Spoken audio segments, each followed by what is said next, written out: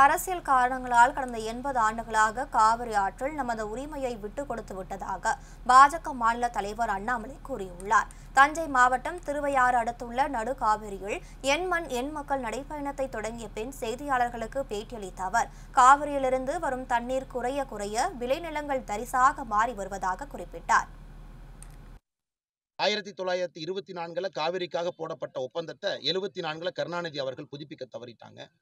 புதுப்பிக்க தவறிய காரணத்தினால் உங்களுக்கு தெரியும் ஹேமாவதி கபினி வரிசையாக வந்து டேம் கட்ட ஆரம்பித்தாங்க அதனால் இன்னைக்கு டெல்டா பகுதியை பொறுத்தவரை கடந்த ஒரு எழுபது எண்பது ஆண்டுகளில் நிறைய விஷயங்களை விட்டு கொடுத்துருக்குறோம். குறிப்பாக கர்நாடகாவுக்கு அங்கே இருக்கக்கூடிய அரசுக்கு நிறைய விஷயங்களை அரசியல் காரணத்திற்காக கொஞ்சம் கொஞ்சமாக விட்டு கொடுத்துருக்கோம். அதனுடைய நோக்கம் தான் அண்ணன் கேட்ட கேள்வி நிலம் தரிசனம் நிலம் ஆகிட்டு இருக்கு. தண்ணி குறைச்சல் தண்ணி வரல.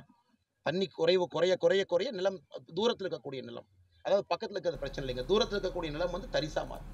நீங்கள்